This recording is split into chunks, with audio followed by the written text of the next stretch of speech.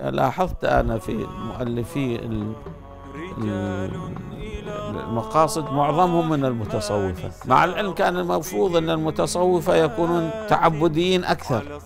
لكنهم لما جمعوا بين الفقه وبين التصوف صاروا تعليليين أكثر. طيب شيخنا هل في فرق بين يعني كتاب مثلا كتاب قفال محاسن الشريعة كموضوع يختلف عن موضوع المقاصد بالمفهوم الحالي. لا تقريبا هي المقاصد. العصبية المذهبية صارت عصبية قبلية ومن ثم أصبحنا نتحارب كما كان يتحارب الجاهليون بأخلاق الجاهليين. أن أفعال الله سبحانه وتعالى لا تعلل لا أحد يعلل أفعال الله سبحانه وتعالى. فهل هناك يعني تعارض بين كوننا نقول بمقاصد الشريعة وبين تلك المسألة القديمة الجذور؟